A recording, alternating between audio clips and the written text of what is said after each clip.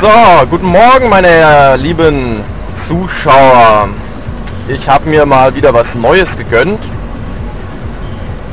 Unschwer zu erkennen. Äh, eine Brille mit Kamera oder Spionkamera oder was auch immer das, äh, äh, wie auch immer das man nennt, wie, wie auch immer das man nennt. Das fängt gut an mit Deutsch. Fällt mir schon mal sehr gut wieder am frühen Morgen. Ich sag mal so, ich äh, habe die schon ein bisschen getestet. Es war äh, dadurch, dass ich auch keine Anleitung hatte, beziehungsweise ich habe sie mir nicht runtergeladen. Also Learning by Doing. Etwas lustig herausfinden, wie äh, das so im Ganzen äh, funktioniert. Ja, kurze Sache, die Qualität ähm, ja, ist jetzt nicht so zufriedenstellend. Klar, äh, bei schlechten Lichtverhältnissen, gerade wenn es dunkel ist, ist das ähm, nicht wirklich gut, muss ich sagen. Aber ich glaube, da ist jede Kamera nicht so gut ohne extra Lichtquelle.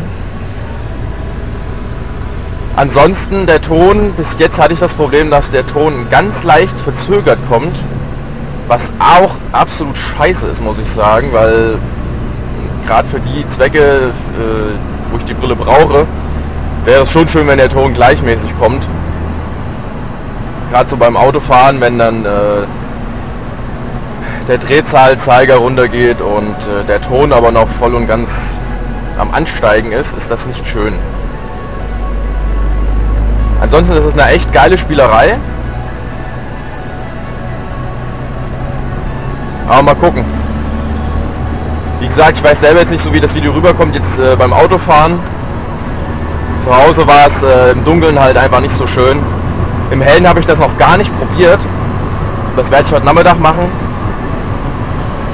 Ansonsten stufe ich das erstmal als äh, lustige und interessante Spielerei ein.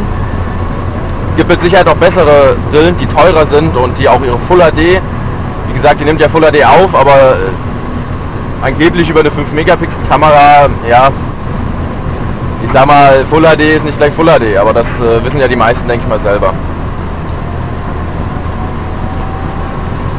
So, von daher war es das erstmal. Bis später.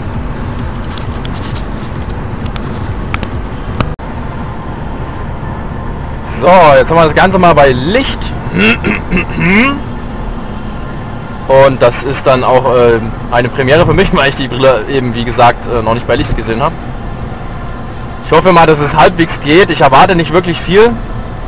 Aber ich denke mal gerade so bei gewissen Sportaktivitäten mit dem Auto über eine gewisse Nordschleife könnte das auch von Vorteil sein, einfach mal einen anderen Blickwinkel zu haben. Solange, wie gesagt, der Ton nicht zu äh, ja, versetzt ist und äh, ich kann das halt einfach nicht äh, einstellen, sonst weiß ich noch nicht wie. Aber ja gut, sag mal, ich erwarte nicht viel bei einer Brille, die jetzt nicht ganz so teuer war.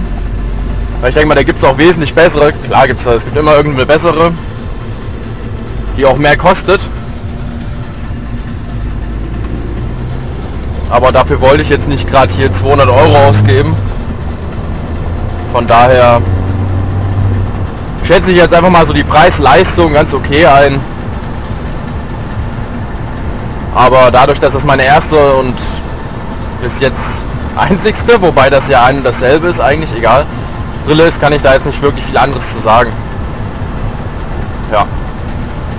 Also in diesem Sinne sehen wir uns dann bei den nächsten, nicht Tests, sondern einfach mal bei den nächsten Aktionen mit der Brille.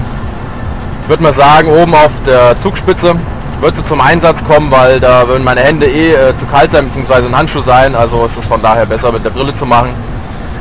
Also bis dann.